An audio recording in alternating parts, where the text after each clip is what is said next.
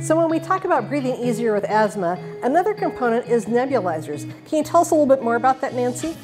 Yeah, nebulizer is a machine that actually creates medication mist that comes out of the mouthpiece. The machines are all different shapes and sizes. There are some that are small enough to fit in your purse. They are oftentimes very well reimbursed by insurance companies, so that's a good thing. So the mist that's created with the uh, nebulizer is something that an individual would breathe in slowly and deeply while they're sitting upright for a matter of usually about 10 minutes. Sometimes they nebulize a little quicker.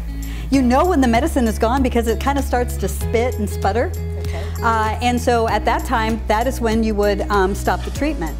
Nancy, is that something that they use for a maintenance thing that they do every day, or is it more of a rescue? It depends on the severity of your asthma or what lung disease you have. Okay. Because some individuals take these more than once a day. Hmm. And they do have, most of the time, a rescue medication or a combination medication inside. How do you utilize a, a nebulizer? So the best way to use a nebulizer and to get the most medication in your lungs okay. is to do it with a mouthpiece.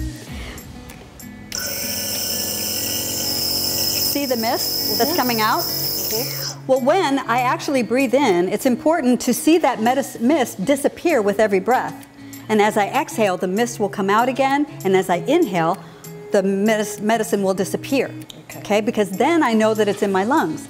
Because children, sometimes elderly people, will put the mouthpiece in their mouth and they'll breathe through their nose and they won't Oops. get the medicine. Okay. The last thing that you do with a nebulizer is um, you'll take it apart, rinse it with warm water, and let it air dry. Once a week, however, take it apart and soak it in one part vinegar, two parts water for about 30 minutes, and then rinse it and air dry. How do you and, put the medicine in them?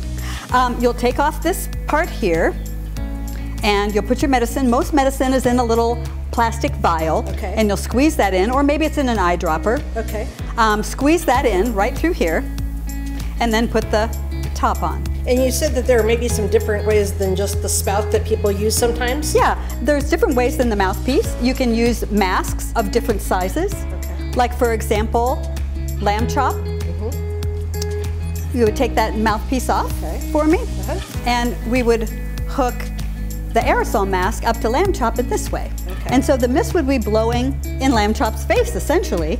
So we would want lamb chop to take nice, slow, deep breaths throughout the whole treatment. Okay. Now the problem with the mask is, is it's blowing in your face and it's going to be, you're going to be breathing in through your nose and your mouth. So right? it's harder to and get so it's harder to get it in your lungs that way, okay. even if you take nice deep breaths. It sounds like nebulizers are another important tool for people to be able to breathe easier with asthma. Absolutely. Stay tuned to learn more about asthma treatment in our series.